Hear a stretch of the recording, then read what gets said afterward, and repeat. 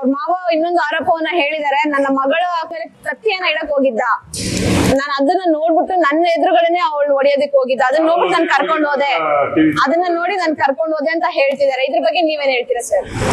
ನೋಡಿ ಮೇಡಮ್ ಅವರೇ ಯಾರಾದ್ರಾಗ್ಲಿ ಒಬ್ಬ ತಂದೆ ಮುಂದೆ ಮಗಳನ್ನ ಹೊಡೆಯಕ್ಕ ಹೋಗ್ತಾರ.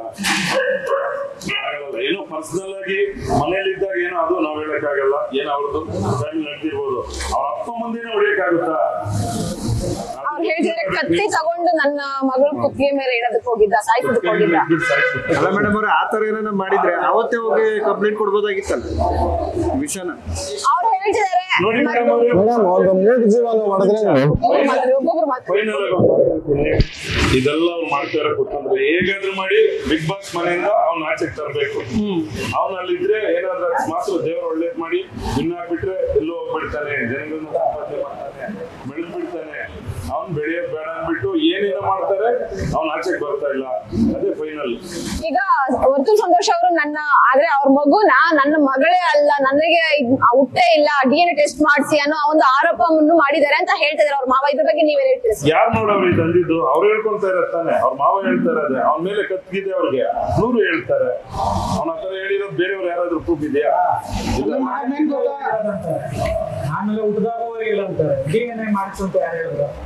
ಇದೊಂದು ಇಶ್ಯೂ ಅಲ್ಲ ಮೇಡಮ್ ಇನ್ನ ಸಾವಿರ ಇಶ್ಯೂ ಬಂದ್ರೇನು ಅವ್ರನ್ನ ತಡೆಯಕ್ಕೆ ಯಾರ ಕೈಯಲ್ಲೂ ಆಗಲ್ಲ. ಅವ್ರು ಹಂಡ್ರೆಡ್ ಪರ್ಸೆಂಟ್ ಇನ್ನ ಚೆನ್ನಾಗಿ ಬೆಳಿತಾರೆ.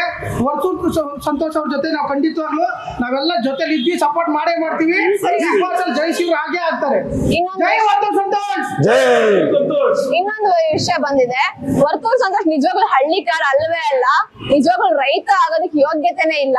ಅವನು ರೈತ ಅಂದ್ರೆ ಹಳ್ಳಿಕಾರ್ ಪ್ರೆಸಿಡೆಂಟ್ ಆಗೋದಕ್ಕೆ ನಾಲಾಯಕು ಅನ್ನೋ ಒಂದು ಆರೋಪವನ್ನು ಹೇಳಿದ್ದಾರೆ. ಇದ್ರ ಬಗ್ಗೆ ನೀವೇನ್ ಹೇಳ್ತೀರಾ? ಅಲ್ಲ ಏನು ಅದು ಟೂ ಹಂಡ್ರೆಡ್ ಪರ್ಸೆಂಟ್ ಸುಳ್ಳು. ಯಾಕಂದ್ರೆ ನೀವು ಯೂಟ್ಯೂಬ್ ಅಲ್ಲಿ ನೋಡಿರ್ಬೋದು ಸುಮಾರು ಕಡೆ ಜಾತ್ರೆಗಳು ಮಾಡೋರೆ ಇದೇ ಹೊಸಕೋಟೆ ತಾಲೂಕಲ್ಲಿ ರೇಸ್ ಮಾಡೋರೆ ಸ್ವಂತ ದುಡ್ಡಲ್ಲಿ ಒಂದು ಕೋಟಿ ಖರ್ಚು ಮಾಡಿ ರೇಸ್ ಮಾಡೋರೆ ಇದೆಲ್ಲ ಕಣ್ಣು ಕಾಣಿಸಿಲ್ವಾ ಮೇಡಮ್ ಸುಮಾರು ವರ್ಷಗಳಿಂದ ಅವ್ರ ಮನೆ ಹತ್ರ ಈಗಲೂ ಹೋದ್ರು ನಾಲ್ಕು ಜೊತೆ ಎತ್ತಿದ್ದೇ ಇರ್ತೈತೆ. ಏನು? ಬೆಳಗ್ಗೆ ಎದ್ದ ತಕ್ಷಣ ಆರು ಗಂಟೆಗೆ ಎದ್ದೇಳ್ತಾರೆ. ಆರು ಗಂಟೆಗೆ ಎದ್ದ ತಕ್ಷಣ ಅವ್ರು ಫಸ್ಟ್ ಬರೋದೇ ಶೆಡ್ ಹತ್ರ. ಶೆಡ್ ಹತ್ರ ಬಂದು ಏನ್ ಬೇಕು ಎಲ್ಲ ನೋಡಿ. ಏನ್ ಬೇಕೆಲ್ಲ ಮಾಡಿ. ಅವ್ರು ಯಾವ್ದೋ ಒಂದು ಫಂಕ್ಷನ್ ಮಾಡಿದ್ರು. ಈ ಮಾಲೂರು ತಾಲೂಕು ತೊರ್ನಳ್ಳಿ ಬಿಟ್ಟು? ನನ್ಗೆ ಗೊತ್ತಿರೋ ಪ್ರಕಾರ ಅಲ್ಲಿ ಟೆಂಟ್ ಹಾಕ್ತಾರೆ ಹದಿನೈದು ದಿನ ಹಾಕ್ತಾರೆ ಎಲ್ಲರಿಗೂ ನಾನ್ ವೆಜ್ ಕುರಿ ಕೊಯ್ಸೋದು ನಮ್ಗೆ ಕುರಿ ಬೇಡ ಕುರಿ ಮಾಂಸ ತಿಂದು ತಿಂದು ಬೇಜಾರಾಗಿದೆ ಅಂದ್ರಾಗೂ ನಾನು ಹೇಳಿದ್ದೆ ಪಾಪ ನಾಟಿ ಕೋಳಿ ತರಿಸಿ ಅಲ್ಲೇ ಮಾಡಿ ನಮ್ಮನ್ನ. ಸರ್ ಈಗ ಬಿಗ್ ಬಾಸ್ ಮನೆಯಲ್ಲಿ ವರ್ತೂರ್ ರೀ ಎಂಟ್ರಿ ಕೊಟ್ಟು ತುಂಬಾ ಚೆನ್ನಾಗಿ ಆಟ ಆಡ್ತಾ ಇದಾರೆ ತುಂಬಾ ಚೆನ್ನಾಗಿ ಧೂಳಿ ಎಬ್ಬರಿಸ್ತಾ ಇದಾರೆ ಆಲ್ರೆಡಿ ಈಗ ರೆಡಿ ಆಗ್ಬಿಟ್ಟು ಇನ್ ಮುಂದೆ ಆಟ ಶುರು ಅಂತ ಎಲ್ಲ ಹೇಳಿದ್ದಾರೆ. ಸೊ ಅಸಲಿ ಆಟ ಅವ್ರು ನಿಜವಾಗ್ಲೂ ಆಡ್ತಾರಾ? ಇವಾಗ 100% ಆಡೇ ಆಡ್ತಾರೆ. ಸ್ಟಾರ್ಟ್ ಆಗಿದೆಯಲ್ಲ? ನೋಡ್ರಿ ನೀವೇ ನೋಡ್ರಿ ಅವನು. ಓಕೆ ಇವ್ರು ಬಿಗ್ ಬಾಸ್ ಮನೆ ಇದ್ದಂತ ಸಂದರ್ಭದಲ್ಲಿ ನಾನು ಬಿಗ್ ಬಾಸ್ ಮನೆಯಿಂದ ಹೊರಗಡೆ ಹೋಗ್ತೀನಿ. ನನ್ ಕೈಯಲ್ಲಿ ಆಗ್ತಾ ಇಲ್ಲ ಹೊರಗಡೆ ನಡೆದಿರೋ ಇನ್ಸಿಡೆಂಟ್ ನನ್ನನ್ನ ಕಾಡ್ತಾ ಇದೆ. ನಾನು ಹೊರಗಡೆ ಹೋಗ್ಲೇಬೇಕು ಅಂತ ಹೇಳಿದ್ರು. ಇದ್ರ ಬಗ್ಗೆ ನೀವೇನ್ ಹೇಳ್ತೀರಾ? ಕರೆಕ್ಟ್ ಹೇಳಿದ್ರು.